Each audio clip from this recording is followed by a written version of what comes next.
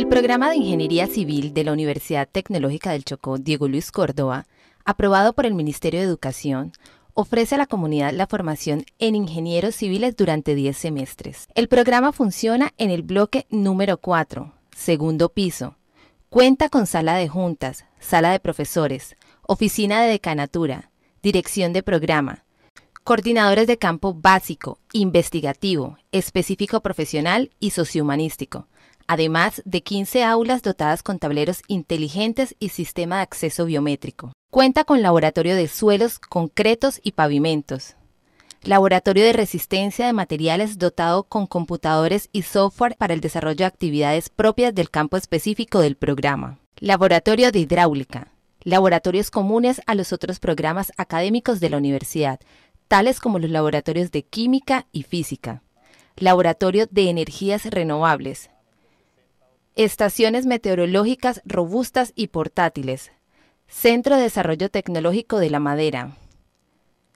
Hidroeléctrica en Huina, Vallasolano. El programa de Ingeniería Civil cuenta con una sala de informática que incluye 18 computadores con sus respectivas licencias.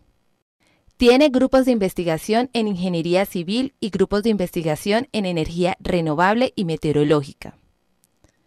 De otro lado, el programa cuenta con distintos convenios con instituciones públicas y privadas como la Alcaldía de Quibdó, Ismina y otros municipios, Gobernación del Departamento del Chocó, Invías y empresas constructoras de la región y el país, con lo cual los estudiantes llevan a cabo prácticas y pasantías.